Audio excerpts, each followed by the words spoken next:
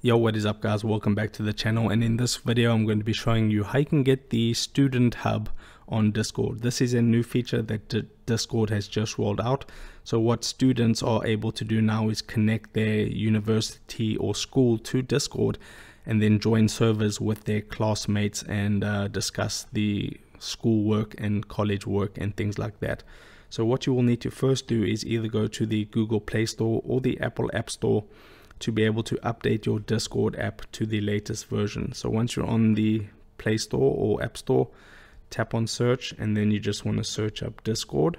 Once you've done that, you just want to tap on it and if it says update, go ahead and make sure that you download that update and then what you want to do is open up Discord. If it was already open, for an example, if you have Discord open already, and I tap these three dots at the these three stripes at the bottom left hand corner, you just want to find the TikTok app and just close out of it first and then open up Discord and then that'll reload it with the new update.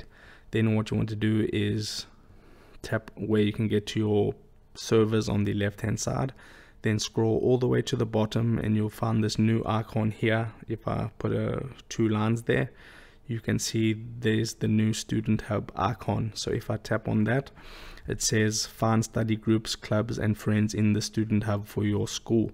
So I don't have a school that I can put in here to join a hub but what you would do is you would simply just type in the name of your school so the school email address you would put it in there and then you would simply just click on join hub over there and then you'll be able to join the student hub for that specific school. So that's all you basically need to do. So if you have the update this is the process you can follow. So if this video helped you out don't forget to drop a like onto this video and subscribe for more and i'll see you in the next video. Take care